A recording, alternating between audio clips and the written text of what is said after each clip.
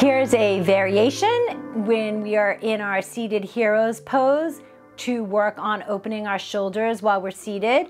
I'm just gonna turn to the side so that you can see me.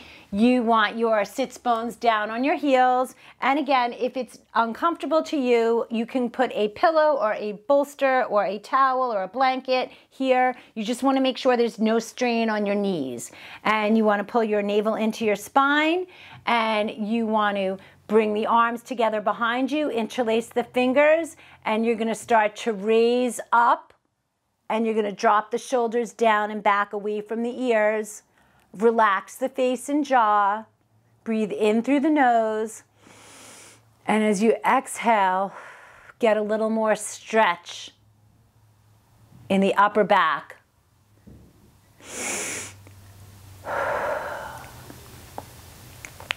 And when you're done, bring the arms down behind you. And if it's available to you, you can interlace and you can push them out the other way. This is definitely a little bit trickier, but it's a possibility and it feels good to, for you depending on your shoulder mobility. So you can push that out.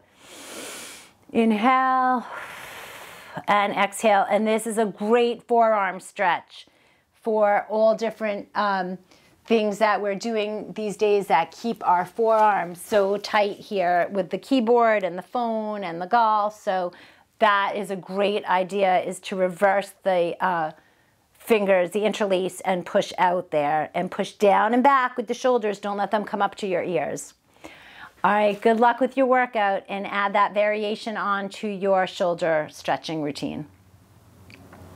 So if you found this helpful, we'd love you to subscribe to our channel and give us a thumbs up because we want to get our message out to as many people as possible about improving movement quality.